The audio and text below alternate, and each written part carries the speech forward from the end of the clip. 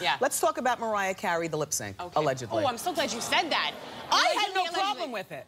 Really? No. I was like, well, you have to come out and say, I just was like, this is so clearly, she doesn't move. This is the thing, if you're moving and you're performing, then okay, maybe lip syncing's okay. Nope. But she stands still in one specific angle and then she just lip syncs? Nope. I don't understand that.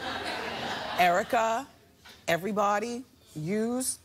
We know the girl can sing, number one.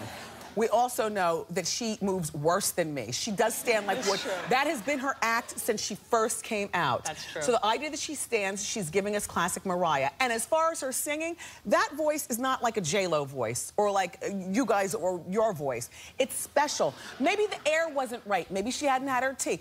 I could take her lip syncing all day. Who cares? We know she can sing, unlike a lot of people at the top of the pop. There you go. Fair enough. Fair enough. I'm just saying, Erica. Okay. She did look good in that pose. That's what she does. She stands like a mannequin. she does. Yeah. um,